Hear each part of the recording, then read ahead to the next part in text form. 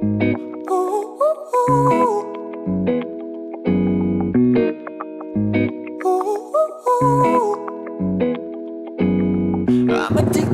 sekarang kita udah sampai di uh, tempat penangkaran rusa.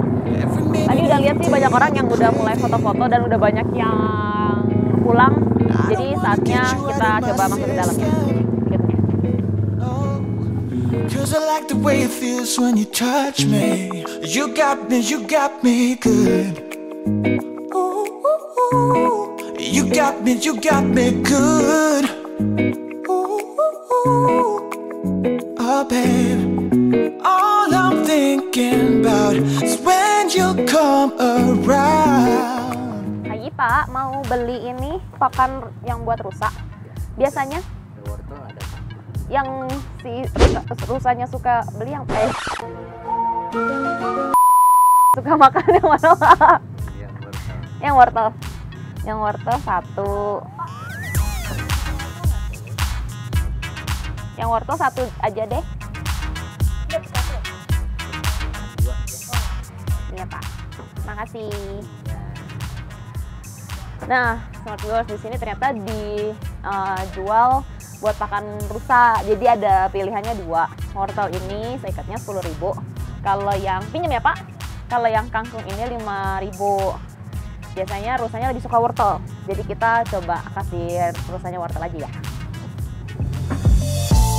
We could try to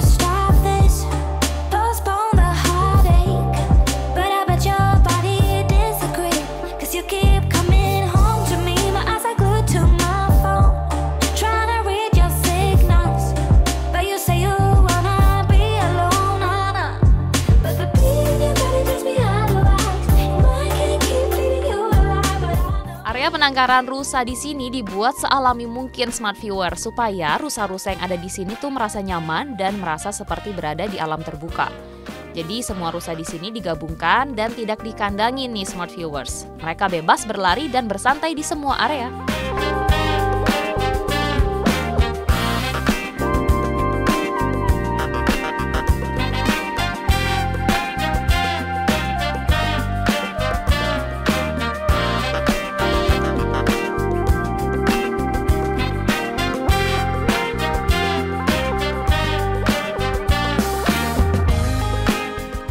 Oke, okay.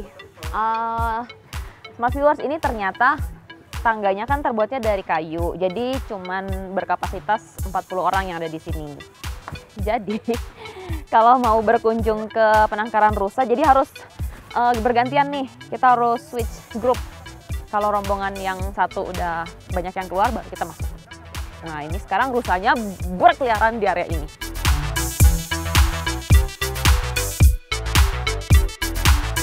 Ketika kalian masuk ke area penangkaran rusa, kalian pasti akan langsung didatangi oleh para rusa. Nah, ini karena kalian memegang wortel ataupun kangkung yang merupakan salah satu makanan mereka. Jangan takut smart viewers ketika didekati oleh kawanan rusa ini ya.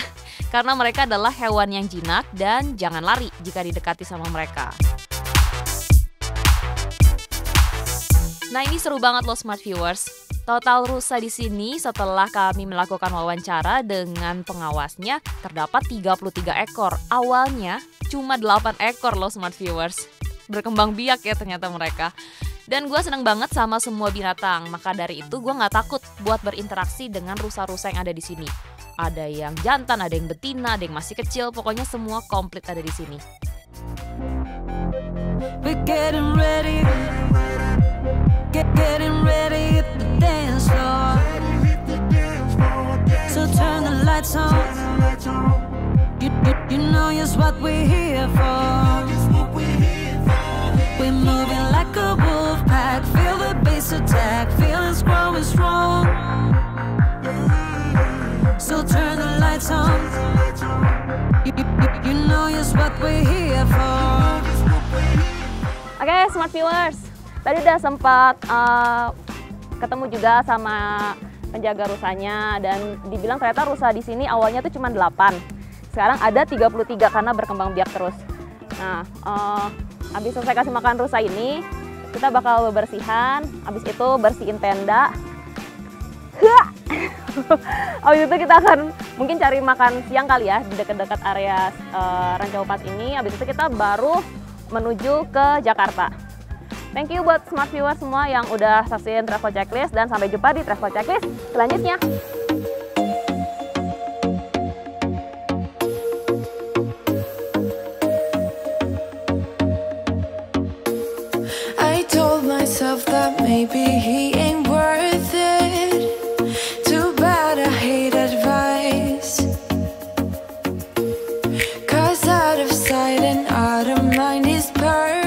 Smart Viewers, perjalanan menarik gue bersama tim ke Rancau Pas Banyak banget wisata-wisata serupa seperti camping ground dan juga pemandangan seru lainnya tapi akan kita bahas di episode selanjutnya ya. Sampai jumpa Smart Viewers.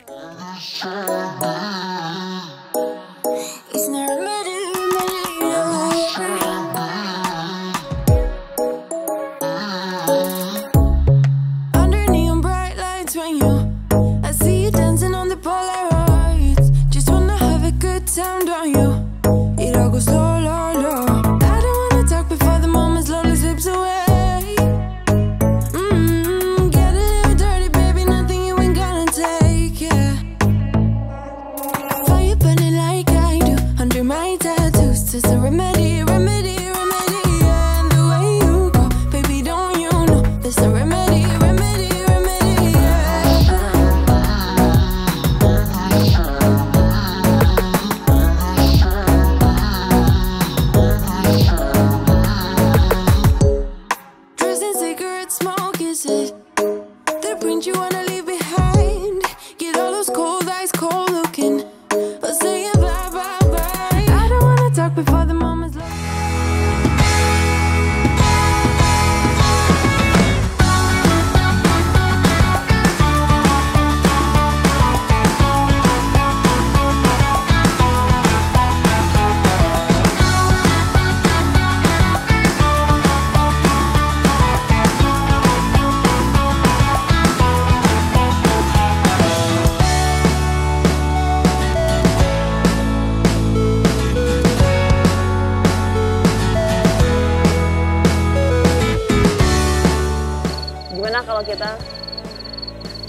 ngerusuh di foto prewed